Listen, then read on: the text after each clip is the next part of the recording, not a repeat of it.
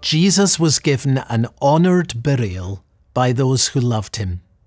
Joseph of Arimathea, a respected member of the Jewish ruling council, asked Pilate for the body of Jesus and prepared it for burial. Jesus' body was laid in a tomb, and a large stone sealed the entrance. But on the morning of the third day, that first Easter Sunday, the tomb was empty.